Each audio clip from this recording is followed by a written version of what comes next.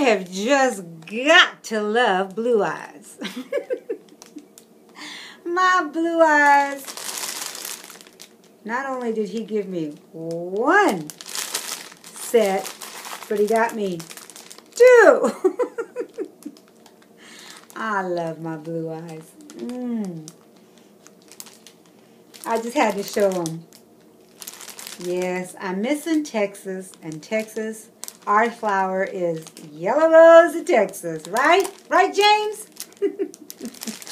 so he got me some some roses. So sweet.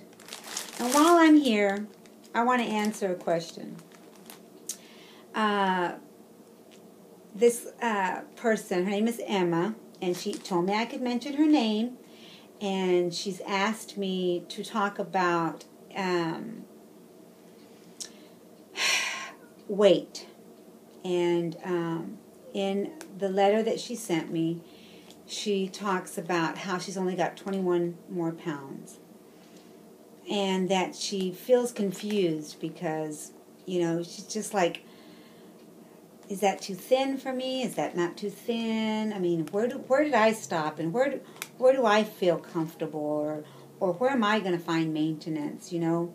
Uh, I've been dealing with this for nine years, Emma.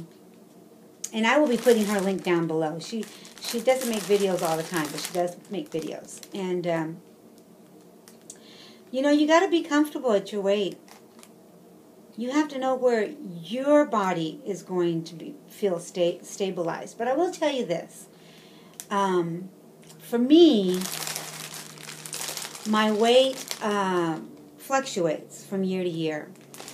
I remember mm, maybe I want to say about three years ago. I went to Dallas. I go. I try and go see my family once a year. I, my girls live in Dallas, and my sister. Everybody lives in Dallas except me. I'm in California, and uh, I went to Dallas, and I. I, I was just not chesty. I mean, I don't want to be vulgar either. I just I didn't have any chest. And uh, my sister says, "Man, you lost a lot of your boobs." And the following year, I go, and my weight has redistributed. Doesn't mean that I gained weight. It means that my weight was distributing itself, and I got busty again. Now, does that happen to everybody? No, not necessarily. Uh, I don't know what happened, really. Uh, one minute I'm flat chested almost. Not, not. I don't think I'll ever be. I was rolling my, my boobs up in my in my bra, uh, and then all of a sudden I didn't have that. Uh, my weight distributed itself, and it will happen. Some people that phenomenon happens. At least it did for me.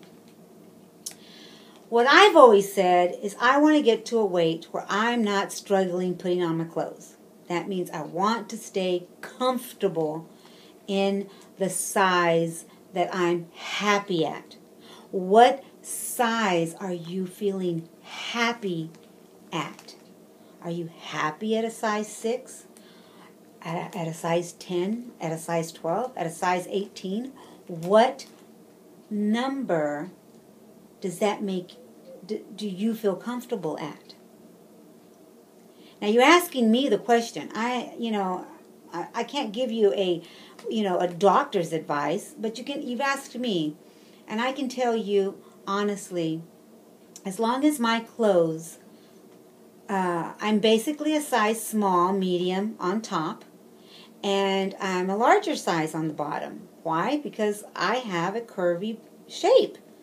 I am a short person also.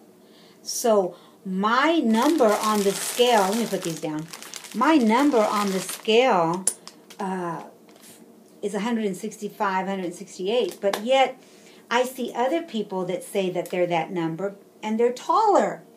so being tall helps your body, I guess, to, I don't know, they just look a lot skinnier than me. Um, not that I'm skinny. You know what I mean. Um, so I would I would challenge you to find where you're comfortable at. Are you comfortable in your clothes? Uh, are you happy when you see yourself in the mirror and go, man, I can do so much more now? And look at, I can wear so much more now. Um, the lumps and bumps and things that happen when you lose weight. Uh, hello. are you, these are my trophies, you know? I've had people stop me while I'm shopping and ask me how much have I lost. Why? Because they see it in my arms. Um, so I, I've always said they're my trophies. Uh, do I want my hips to be smaller? I mean, I would love just the fact that I don't have saddlebags. I would love for that to be gone. But, you know, that's just something that I wish. Doesn't mean it's going to happen.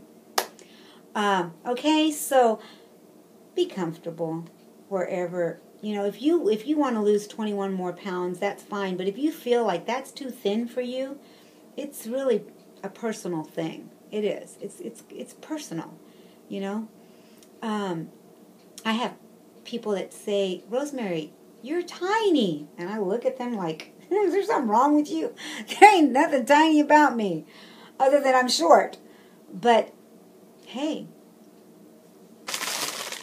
blue eyes likes me just the way I am. I gotta love me the way I am. I have to embrace me.